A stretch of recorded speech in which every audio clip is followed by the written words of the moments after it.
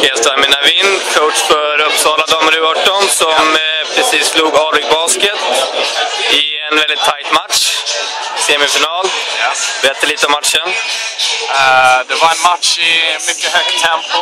Det var en kämpamatch från båda sidor där uh, returtagningen när vi kontrollerade den blev lite avgörande för oss. Uh, vi började svagt, låg under med 10 poäng svarade, kom tillbaka och sen så följdes lagen åt större delen av matchen.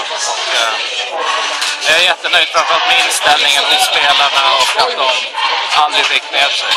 Vad var det som gjorde att just ni vann? Det var väldigt tajt om eh, poängen där på slutet.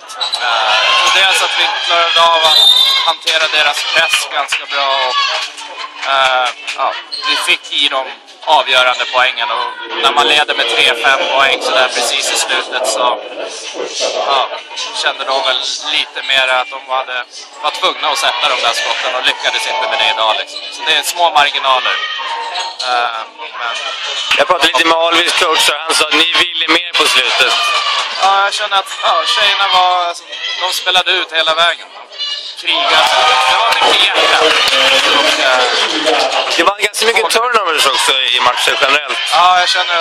Är det semifinalnerver eller vad kan det vara? Absolut en del nerver. Det var vissa spelare som var mer spända än vad de brukar vara. Eh, men ja. stundens allvar och eh, ett högt tempo tror jag från båda håll också.